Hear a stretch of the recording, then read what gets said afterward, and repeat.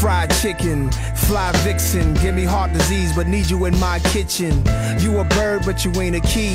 Got wings, but you can't fly away from me. Driving in your bucket seats all the way from Kentucky to fuck with me. Look what you done to me, was number one to me. After you shower, you in your gold medal flour. Then you rub your hot oil for about a half an hour. You in your hot tub, I'm looking at you salivating. Dry you off, I got your paper towel waiting.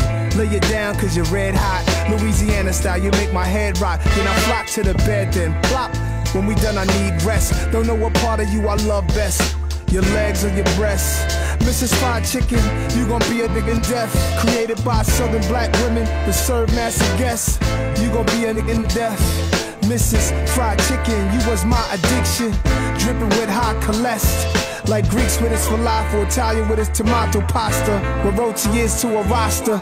Trapping me, you and your friend mac and cheese, candy yams, collard greens, but you knocking me to